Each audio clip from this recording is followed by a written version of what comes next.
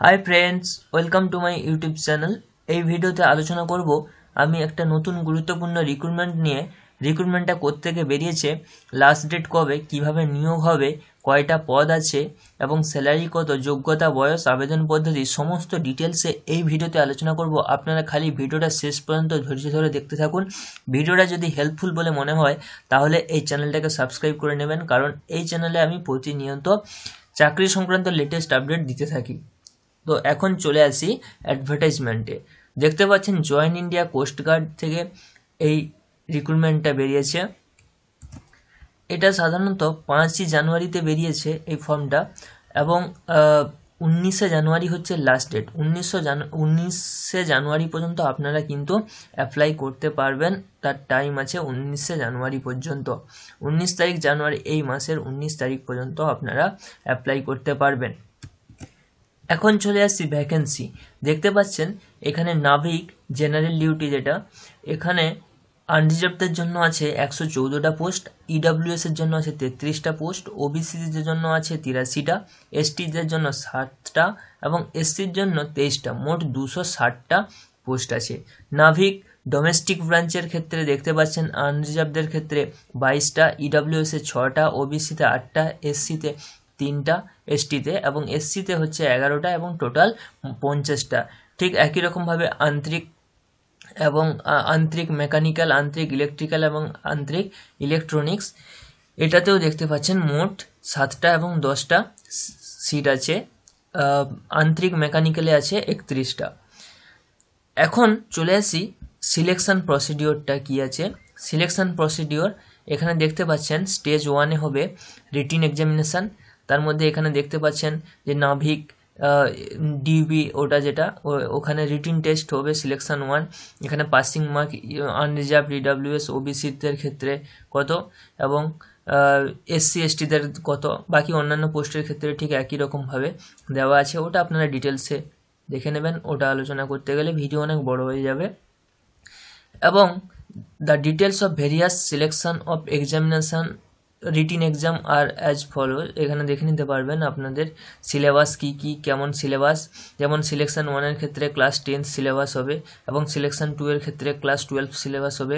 Selection থ্রির ক্ষেত্রে diploma level electrical ইঞ্জিনিয়ারিংয়ের ক্ষেত্রে ইঞ্জিনিয়ারিং এরকমভাবে হবে। ঠিক আছে? এবং সিলেকশন ফোর সিলেকশন ফাইভের ক্ষেত্রেও আপনারা দেখে নেবেন।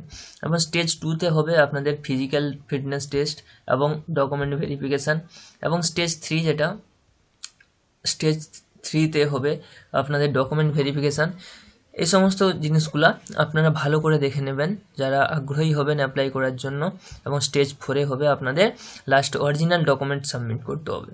ঠিক আছে? এখন চলে আসি আপনারা কীভাবে আবেদন করবেন? আবেদন কিন্তু আপনাদেরকে অনলাইনের মাধ্যমে আবেদন করতে হবে। এখানে দেখতে পাচ্ছেন যে লিঙ্ক দেওয়া আছে। আপনাদেরকে দেখিয়ে দেবো আপনারা কীভাবে আবেদন করবেন। আপনারা ধৈর্য ধরে লাস্ট পর্যন্ত দেখুন। লাস্টে আপনাদেরকে দেখিয়ে দেবো আপনারা কীভাবে আবেদন করবেন। ঠিক আছে? এলিজিবিলিটি কন্ডিশন কী কী আছে? এলিজিবিলিটি কন্ডিশন দেখতে পাচ্ছেন এখানে যে এডুকেশনাল যেটা কোয়ালিফিকেশান নাভিক জেনারেল ডিউটির ক্ষেত্রে জিডির ক্ষেত্রে টেন প্লাস টু পাস হতে হবে with math and physics physics এবং ম্যাথ থাকা দরকার। নাভিক ডোমেস্টিক ব্রাঞ্চের ক্ষেত্রে টেন্থ পাস হতে হবে এবং আন্তরিকের ক্ষেত্রে হবে যে আন্তরিক যে পোস্টগুলো আছে তাতে কী হতে হবে? টেন্থ পাস হতে হবে এবং কি করতে হবে? And from past from an educational board of recognise by council of board of for school educational and diploma in electrical mechanical electronics অথবা টেলিকমিউনিকেশন ইঞ্জিনিয়ারিং ব্রাঞ্চ থেকে, ঠিক আছে?